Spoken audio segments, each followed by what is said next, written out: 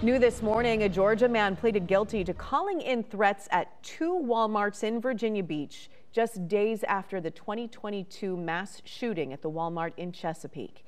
Investigators say DeAndre Murphy called the stores on Black Friday that year, demanding $20,000 or his gunman would go in the store and start shooting people.